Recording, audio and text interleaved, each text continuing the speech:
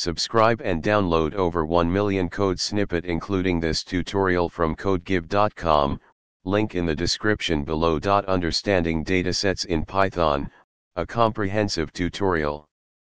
Introduction In Python, a dataset is a collection of data that is organized and structured for analysis or processing. Datasets are crucial in various fields, including data science, machine learning, and statistics. In this tutorial, we'll explore what datasets are, how to work with them, and provide code examples using popular libraries like pandas. What is a dataset?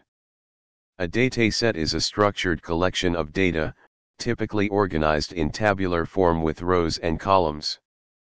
Each row represents an individual data entry, while columns contain specific attributes or features associated with the data.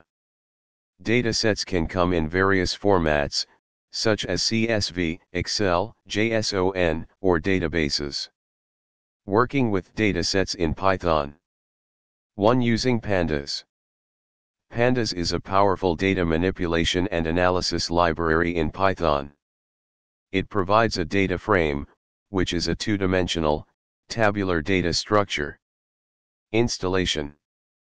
Code example. 2. Loading external datasets.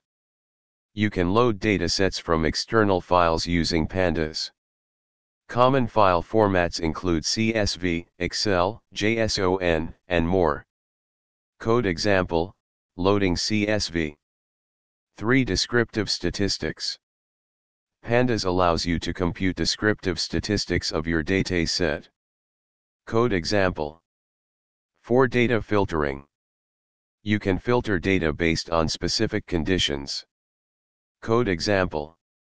Conclusion. Understanding datasets and working with them is fundamental in various Python applications. Pandas simplifies the process of loading, manipulating, and analyzing datasets. By mastering dataset manipulation, you gain powerful skills for data exploration, cleaning, and preparation in your Python projects. ChatGPT